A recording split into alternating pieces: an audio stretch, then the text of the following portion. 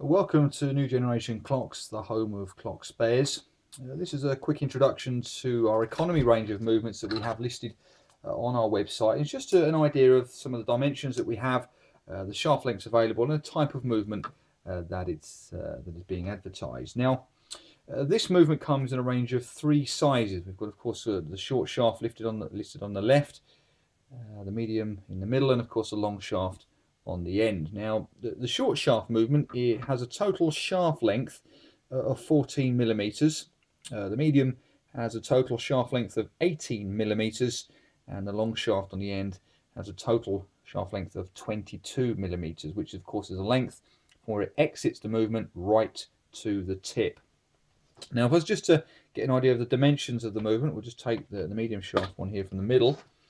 Now, the thickness or the width of the movement uh, is just under 56 millimeters. gives you an idea of the width.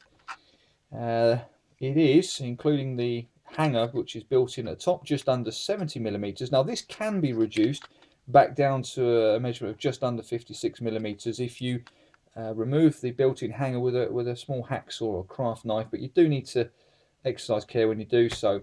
And if you do, were to remove the hanger, please make sure the movement is working properly before you do that because of course if you cut this off and of course the movement is faulty or something goes wrong then obviously returns are going to be a problem.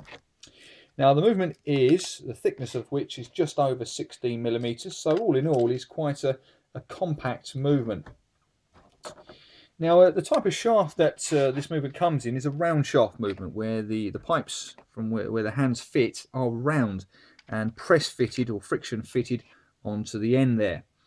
Now the measurements of all of the hands that will be given in the drop down menu on the website will always be for the minute hand and the measurement that's provided is taken from the center of the fixing hole right to the tip. So to give an example of the one that's listed here, uh, if you go to the center of the hole up to the tip, uh, you'll see that it's just around there 65 millimeter, which is a 65 black spade hand, which is uh, listed on the website.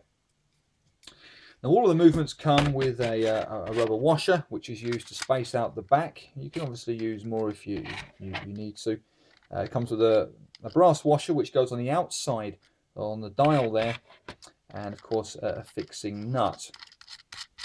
Now if you were to order this movement uh, it'll arrive in a post obviously wrapped up quite, a, quite well in bubble wrap. Now when you open it, um, care does need to be taken when opening because we do find sometimes that people will open it with a big pair of scissors and accidentally cut or nick the shaft, which will then mean that it may not work properly. So do take care when you open it up uh, to prevent that from happening.